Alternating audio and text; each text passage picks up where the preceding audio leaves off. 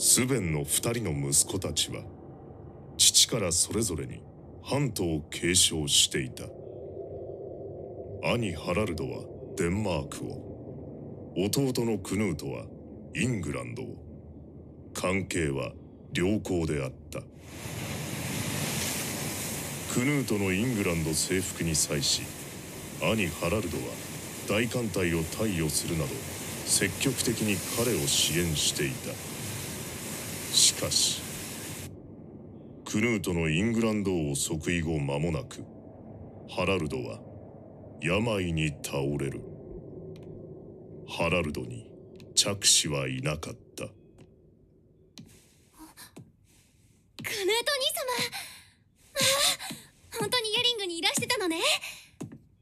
陛下と呼びなさいエストリズ急なんですもの。驚いちゃったご無沙汰しておりました。ハラルド。王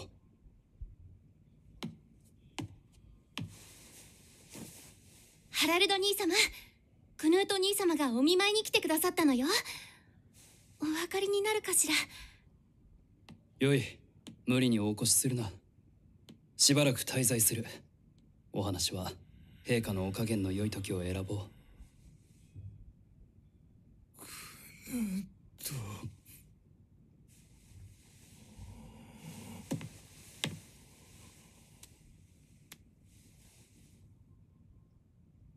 ハラルド王クヌートはこれに。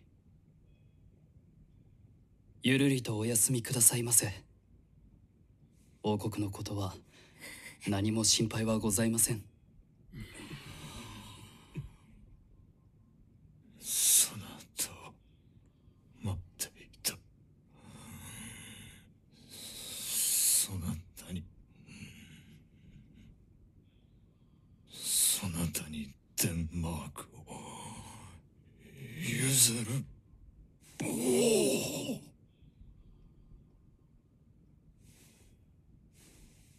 滅相なことを申されますな。ハラルド。王早くお元気になって。また玉打ち遊びにでも興じましょうぞ。大したものだなクヌート。よくもそ知らぬ顔でそんな嘘がつけるものだ兄様？自身が毒を持った相手を見舞うか。とんだ茶番だな。それでお前は一体何を成し遂げるというのだ。ハラルドはそなたに好意的であった。なぜ殺す必要がある。共に世を治めることもできたはずだ。楽土のためなどではない。そなたの心には野心が宿っておる。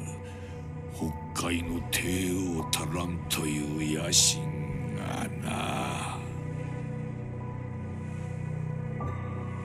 それが呪いだ。王冠の呪いなのだ。逃れられはせぬ。そなたはデンマークとイングランド二つの王冠をかぶり世の倍苦しむ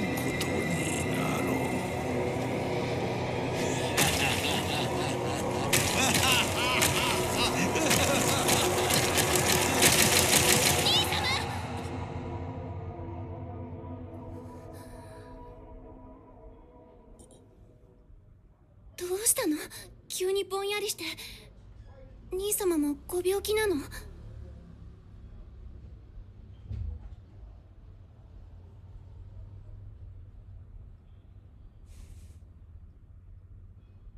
大事ない。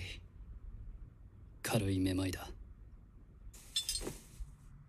楽土建設は国家の統一が前提です。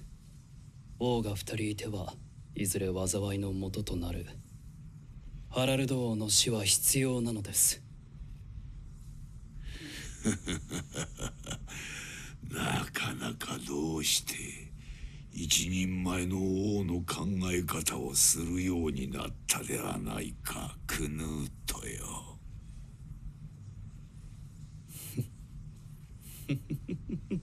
何を笑う？スベンをかつて私はあなたを憎み死を願った。だが今はどうだ。私が腹を割って話せるのはあなただけだ。仲良しましょうぞ。呪われた者同士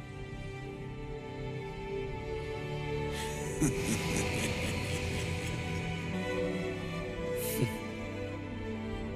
こんなものか。どうということはない。